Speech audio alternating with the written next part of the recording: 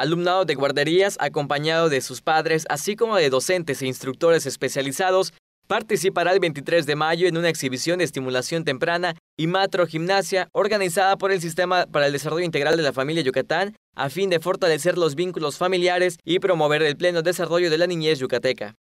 Durante una reunión de trabajo realizada en las instalaciones del DIF estatal, la coordinadora de los Centros Asistenciales de Desarrollo Infantil del Estado, María Elena Pérez Manzanilla, informó que la estrategia que se efectuará en el gimnasio 2 de la Unidad Deportiva Cuculcán forma parte de las acciones que el organismo asistencial impulsa para prevenir, detectar y revertir problemas que en un futuro podrían lastimar la condición física y emocional de los menores de 5 años de edad.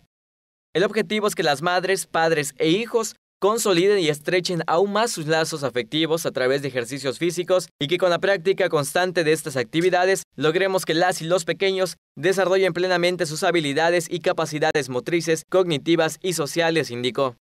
Pérez Manzanilla detalló que se esperan beneficiar a más de 700 personas con esta rutina de activación colectiva en la que los asistentes podrán disfrutar de un momento inolvidable, pues está preparando un programa especial para que convivan entre ellos al tiempo de aprender técnicas que estimulen el proceso corporal y emocional de los niños.